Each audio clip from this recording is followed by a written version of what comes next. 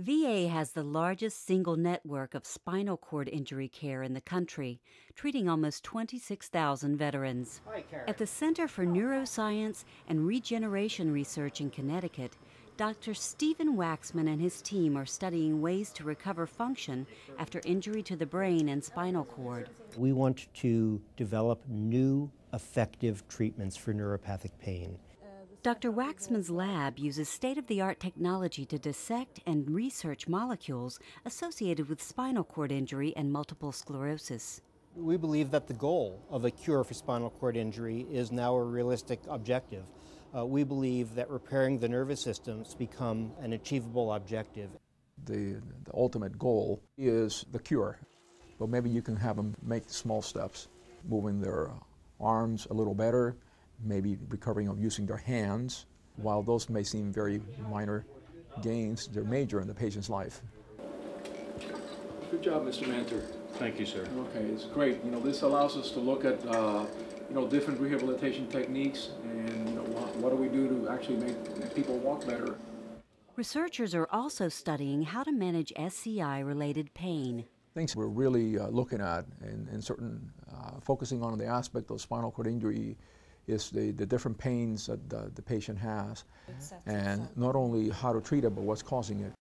An SCI study at the Cleveland VA Medical Center is focusing on vocational rehabilitation. My name is Sean O'Neill. I was a loadmaster on C-130s. I flew all the time, flew just about any mission.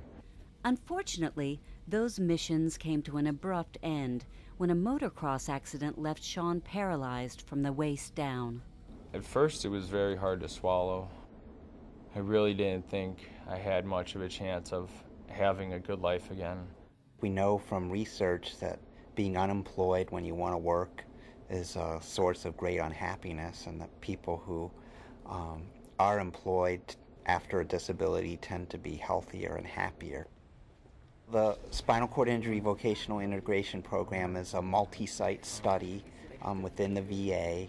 What the VA wants out of the study is they're looking at trying to find out the best way to get vets with spinal cord injury into jobs that they want and then help them keep those jobs. Nationwide, we are recruiting about 362 people, and that includes San Diego, Houston, Dallas, and St. Louis. And the goal was to analyze how well it worked and what was effective and what wasn't. The information that the VA um, garners from this study will be extrapolated to the greater population. You're going to want to just kind of pull back slightly and then push forward, okay? I'm going to be right behind you. There's about 23, 24 centers that are set up the same way with the, with the same structure and provide the same services.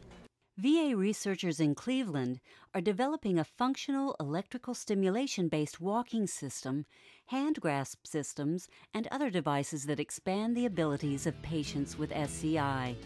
And it increases their opportunities for employment and independence. I'm an old man. I'm 77 years old, and uh, I see a new life in front of me.